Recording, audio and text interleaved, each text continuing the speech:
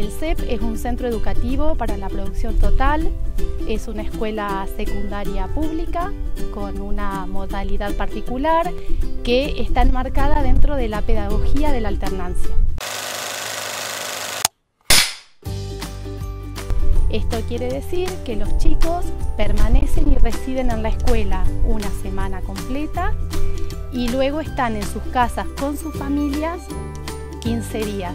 Como objeto principal de nuestra existencia es el arraigo del poblador rural. Nosotros lo que apuntamos es a la, generación de egresados eh, que sean capaces de intervenir y transformar positivamente la realidad de sus comunidades. Esto puede ser siendo profesional, puede ser siendo productor agropecuario o puede ser siendo empleado rural. Tenemos un lugar donde hacemos apicultura y tenemos nuestra salita de, extracción de miel. Producimos quesos y yogur, que el yogur lo, comen, lo consumen los chicos aquí, los dulces también. Y hacemos escabeche, hacemos de todo un poquito.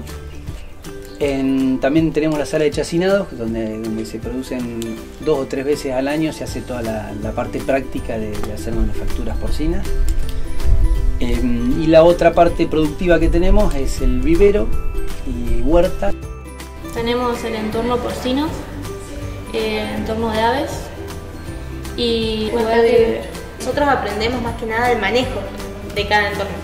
Te vas rotando, pasás por todos los entornos, entonces además de aprender a trabajar en todos los entornos, eh, aprendes lo que es el compañerismo.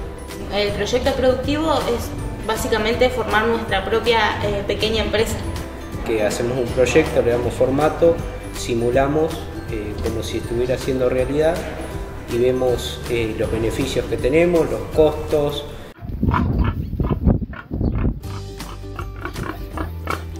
Los docentes los vamos a visitar. Esa herramienta del sistema se llama visita familiar. Somos la única escuela que entramos cada dos semanas asiduamente a la casa de cada uno de nuestros alumnos y sus familiares. Generalmente va una pareja pedagógica en esas dos semanas que los chicos están en, sus casas y está pensada en eso, en compartir un momento agradable con, con las familias. Además de ser una visita que te ayudan con las materias y demás, vos te sentás con un profesor a tomar unos mates con tu familia, a conocerse. Está bueno porque van literal hasta tu casa y te dan una mano. Yo que vivo lejos, en el ámbito rural, eh, me venía de re bien. En este momento estamos en el patio de la escuela y decimos es el patio pero es un aula. Justamente el CEP trata de romper las paredes del aula para que todo sea un entorno formativo.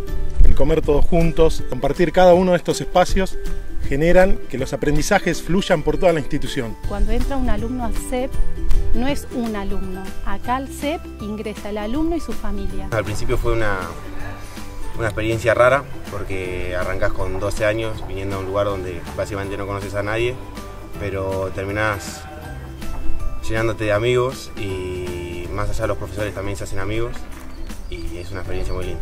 De acá una vez que te egresas no te querés ir porque hace un montón de compañeros, porque disfrutas un montón de estar acá en la escuela.